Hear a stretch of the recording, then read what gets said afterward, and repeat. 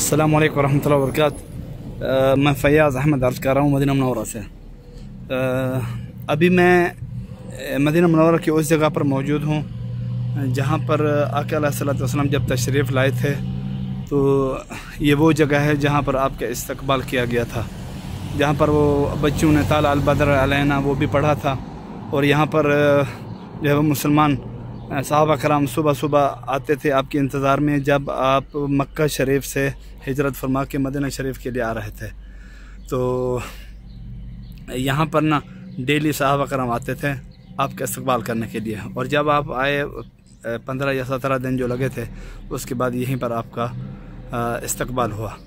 तो यहाँ पर पहले एक छोटी सी दीवार आई हुई थी, लेकिन अभी अलहमदिल्ला ये मिनिस्ट्री ऑफ़ टूरिज़म जो सऊदी अरब में है ये लोग बहुत अच्छा काम कर रहे हैं कि अभी जितने भी हिस्टोरिकल प्लेसेस थे, उनको अभी ये दोबारा से जो है वो रिन्यू कर रहे हैं। जो जो मसाजिद की जगह थी और जहाँ पर मस्जिद नहीं बनी हुई थी पूरी तो ये ये भी देखें कि वहाँ पर ये मस्जिद अभी बन रही है। ये देखें, ये काफ़ी काम हो गया।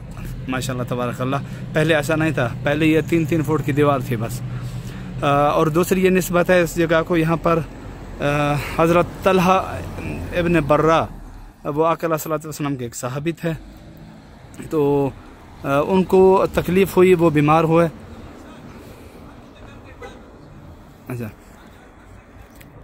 तो वो वो जब बीमार हुए तो आ, उन्होंने ना फिर वो इस खौफ से आका वसलम को जो है वो इतला नहीं भिजवाई कि कहाँ आका वसलम जो है वो मदीना शरीफ से यहाँ पर आने में उनको तकलीफ़ ना हो।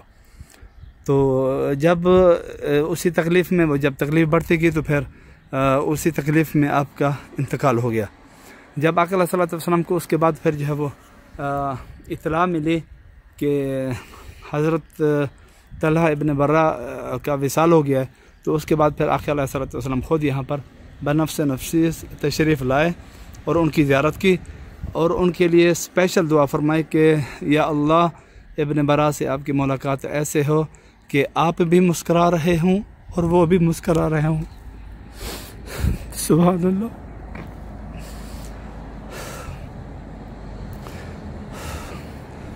तो जी फिर आकर सलाम जो है दुआ फरमाने के बाद फिर वापस चले गए थे। तो ये ये जगह जो है ये मस्जिद कुबा, वो देखें वो सामने सामने बिल्कुल वो मस्जिद कुबा का मीनार नज़र आ रहा है। ये मस्जिद कुबा से ये ये वॉकिंग डिस्टेंस है। तो यहाँ से ज़्यादा से ज़्यादा तीन चार मिनट लगते हैं और आप पहुँच जाते हैं। और वो देखें वो सामने यहाँ से ना ये ये नशेबी इलाका है नीचे। यही रास्ता था जहाँ से आकर वसलम तशरीफ़ लाए और सामने जो है वो एक पहाड़ है। आ, तो आ, इस पहाड़ को बोलते हैं जबल जबल एयर। इसी इसी के लिए आकर वसलम ने फरमाया कि यही हरम शरीफ की हद है यानी मदीना शरीफ इसके अंदर है। तो ये ये आखिरी हद है मदीना शरीफ की। तो यहाँ से जो है आ, ये वो रास्ता है ये वो जगह है जहाँ पर आकर वसलम सबसे पहले तशरीफ़ लाए और यहाँ से फिर जो है वो सामने मस्जिद कुबा है फिर वहाँ पर गए। तो फ़िलहाल इतना इतना काफ़ी है।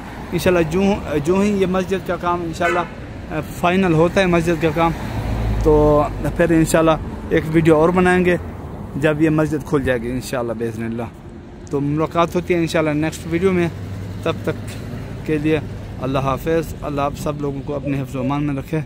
असल वरहमल वर्क